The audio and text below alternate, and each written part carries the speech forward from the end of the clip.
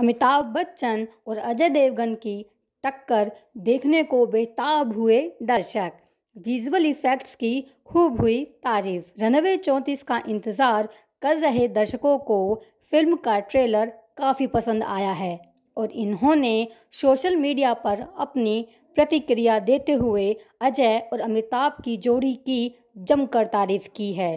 कुछ लोगों को फ़िल्म का विजुअल इफ़ेक्ट तो कुछ को अजय का किलर एटीट्यूड खूब पसंद आया है। अजय देवगन, अमिताभ बच्चन और रकुल प्रीत सिंह अभिनीत फ़िल्म रनअवे चौंतीस, इसका टीज़र किस मार्च को रिलीज़ कर दिया गया है, जिसमें सभी एक्टर्स की दमदार परफॉर्मेंस देखने को मिल रही है।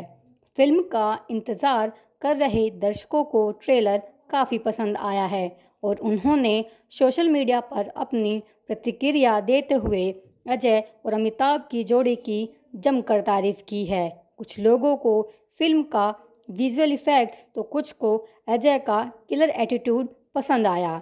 यूट्यूब की बात करें तो ट्रेलर को रिलीज़ के चार घंटों के अंदर ही दो मिलियन से ज़्यादा व्यूज़ मिल चुके हैं। वहीं ट्विटर की बात करें तो ज़्यादातर लोगों को अजय देवगन की रनवे चौंतीस से उनकी पिछली सभी हिट फ़िल्मों जैसा ही उम्मीदें हैं।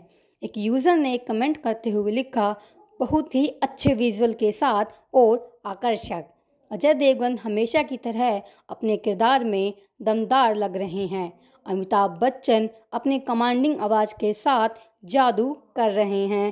कंटेंट का मतलब फ़िल्मों की ताकत होना है। और उम्मीद है कि अजय इसे समीक्षों द्वारा प्रशंसित और सफल फ़िल्में बनाएँगे। एक अन्य यूज़र ने अजय देवगन की तारीफ़ करते हुए कहा कि दिलचस्प थ्रिलिंग फ़िल्म देखने का इंतज़ार नहीं कर सकता। वहीं एक यूज़र ने अजय देवगन और अमिताभ बच्चन की टक्कर को लेकर उत्साहित होते हुए लिखा, इस ईद मज़ा आने वाला है। सस्पेंस, रोमांस थ्रिलर का ट्रिपल डोज मिलने वाला है।